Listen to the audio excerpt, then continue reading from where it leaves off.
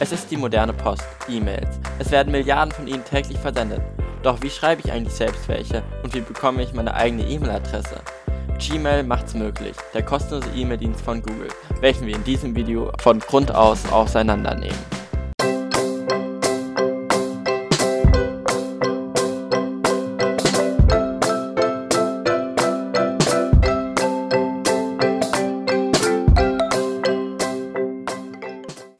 Am Anfang werden wir besprechen, wie du dir dein Gmail einrichtest. Anschließend nehmen wir die Oberfläche im Detail auseinander und besprechen, wie du E-Mails schreibst.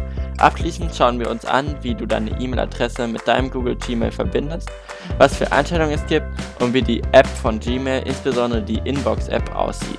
In der Videobeschreibung hast du die Möglichkeit, zu bestimmten Punkten zu springen oder lass einfach das Video durchlaufen für alles. Viel Spaß! Um Gmail nutzen zu können, brauchst du ein kostenloses Google-Konto.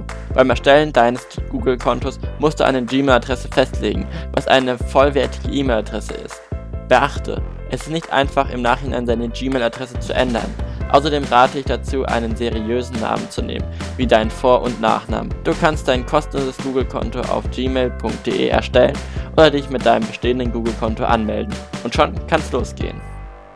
Gmail ist am PC relativ einfach und verständlich aufgebaut. Oben hast du die Möglichkeit, nach einer E-Mail, Kontakt oder anderen Inhalten aus Gmail zu suchen. Rechts daneben hast du eine Auswahl von weiteren Google-Diensten. Daneben findest du den Benachrichtigungsbereich und dein vorhandenes Google-Konto, wo du auch dein Konto wechseln oder abmelden kannst. Im Bereich darunter hast du die Möglichkeit, deinen Kontakten oder Aufgaben zu kommen, indem du auf die Schaltfläche Gmail drückst. Google-Kontakte werden wir in einem folgenden Video auf meinem Kanal auseinandernehmen. Unter dem genannten Button findest du die Möglichkeit, eine neue E-Mail zu schreiben. Mehr dazu später. Darunter hast du deine Ordnerstruktur von Gmail. Als erstes siehst du deinen Posteingang, welcher immer beim Start ausgewählt ist. Dein Posteingang ist standardmäßig in drei Bereiche aufgeteilt. Allgemein, soziale Netzwerke und Werbung. Neue E-Mails werden einem der drei Bereiche zugeordnet. Du hast die Möglichkeit, die Bereiche neu anzuordnen oder neue Bereiche hinzuzufügen oder alte zu entfernen. In den Bereichen sind die einzelnen E-Mails aufgelistet. Links am Rand kannst du die E-Mails auswählen oder favorisieren oder markieren. Daneben siehst du den Absender, seinen Betreff in fetter Schrift und den Anfang der Nachricht. Ganz rechts am Rand siehst du noch den Tag, an welchem die E-Mail eingegangen ist. Wenn du eine E-Mail markiert hast, hast du noch die Möglichkeit, diese zu archivieren, als Spam zu melden, zu löschen, in einen Ordner zu verschieben oder einen neuen Ordner erstellen oder vorhandene verwalten. Außerdem kannst du eine Markierung hinzufügen und vieles mehr. Diese Funktionen lassen sich auf jeden Bereich übertragen. Über den Posteingangbereich hast du noch die Möglichkeit, deinen Posteingang zu aktualisieren und rechts am Rand sehen, wie viele E-Mails du am ausgewählten Posteingang hast und wie viele du gerade siehst und zwischen ihnen wechseln, sofern du genug E-Mails hast. Ganz am Rand hast du noch den Zugriff auf die Einstellung, wo du den Kompaktheitsgrad festlegen kannst und weitere Einstellungen, auf die wir noch zu sprechen kommen. Mit rechtem Mausklick auf eine E-Mail kannst du sie auch in einen anderen Bereich verschieben. Unter dem Posteingang befindet sich der Spam, wo E-Mails, welche schädlichen Verdacht haben, eingeordnet werden. Ist zu beachten, dass alle E-Mails, die im Spam-Bereich eintreffen, sich automatisch nach 30 Tagen aus Sicherheitsgründen löschen. Die sich im darunter befindenden E-Mails im Papierkorb löschen sich ebenfalls nach 30 Tagen automatisch. Hier kannst du aber auch mit einem Klick deinen Papierkorb leeren. Unter dem Papierkorb findest du alle deine erstellten Ordner. Unter all den Ordnern hast du noch dein Google Hangout, welches ein weiteres kostenloses Produkt von Google ist. Hier kannst du mit Freunden chatten und telefonieren, aber darauf werden wir in diesem Video nicht weiter eingehen.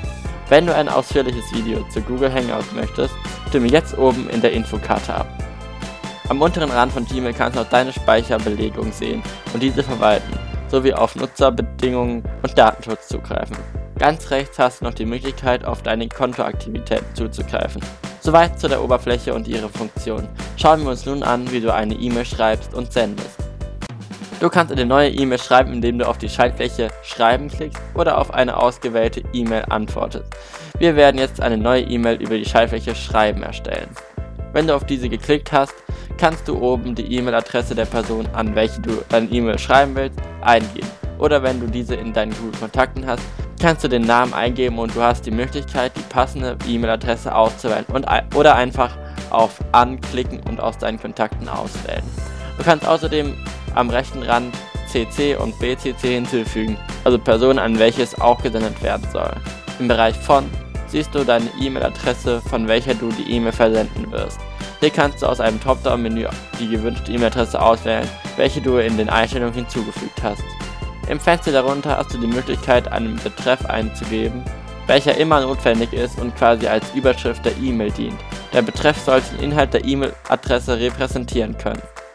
Jetzt kannst du beginnen, die richtige E-Mail im großen Fenster zu schreiben. Wenn dir das Fenster zu klein ist, kannst du oben rechts das Fenster vergrößern oder minimieren. Am unteren Rand hast du links die Funktion, die fertige E-Mail abzusenden und daneben Textoptionen wie Schriftart, Größe oder Ausrichtung festzulegen. Du kannst eine Datei von deinem Gerät als Anhang hinzufügen bis zu maximal 50 MB oder eine Datei aus deiner Google Drive anhängen. Als weitere Option hast du noch die Möglichkeit, Fotos hinzuzufügen, Verlinkungen zu erstellen und Emoticons hinzuzufügen. Ganz links hast du noch die Möglichkeit, die E-Mail zu löschen und ein paar kleine Optionen, welche nicht groß relevant sind.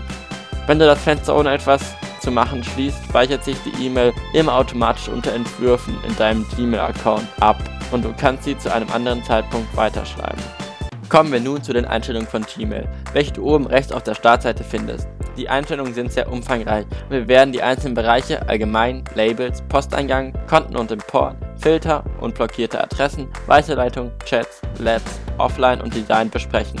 Im Bereich Allgemein hast du die Möglichkeit, grundlegende Sachen zu verwalten, wie Systemsprache, eine Standardschriftart und Co. festzulegen deine Sterne, Markierungssystem erweitern, ein eigenes Profilbild festlegen und eine standardmäßige Signatur für deine E-Mails festlegen.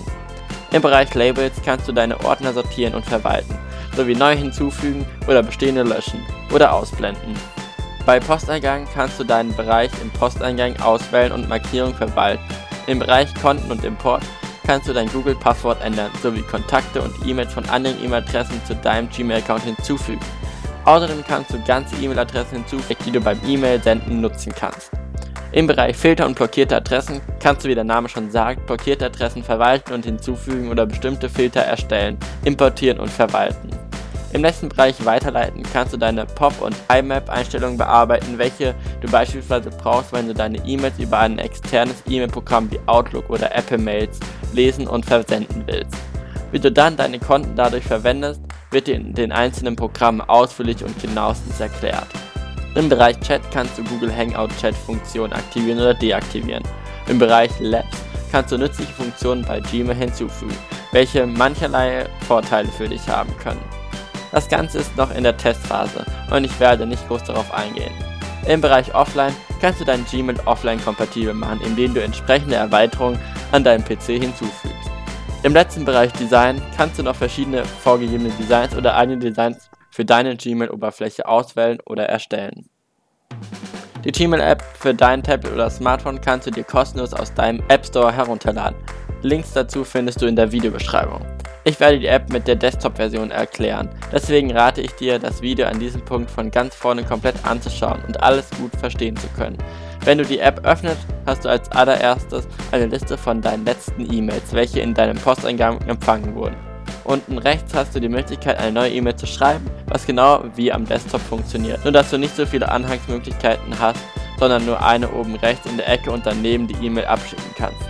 In der Gmail-App hast du auf dem rechten Menü eine Übersicht von deinem Google-Konto, welches du dort auch verwalten kannst.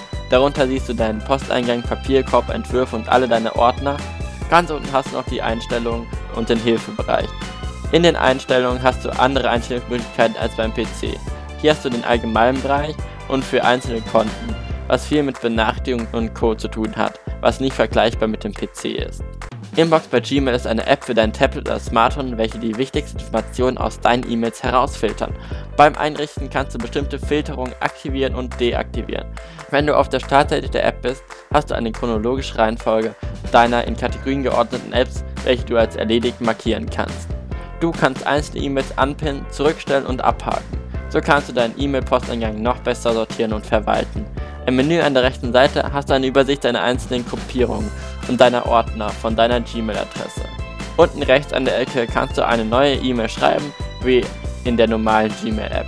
Inbox bei Gmail funktioniert auch am PC unter google.com/inbox oder einfach über den Link in der Videobeschreibung. Es ist genauso wie am Tablet oder Smartphone. Das war's mit dem E-Mail-Dienst von Google. Wusstest du, dass jeder, der bei YouTube einen Account hat, auch eine Gmail-Adresse hat? Und alle Dienste von Google kostenlos nutzen kann, welche ich in dieser Tutorial-Serie vorstelle, so hast du auch die Möglichkeit, Google Kalender zu verwenden, welchen wir im nächsten Video unter die Lupe nehmen werden. Wenn dir das Video geholfen hat, dann bewerte es doch und teile es mit deinen Freunden, um ihnen auch zu helfen. Um keine Videos mehr zu verpassen, abonniere den Kanal und wir sehen uns hoffentlich in einem weiteren Video.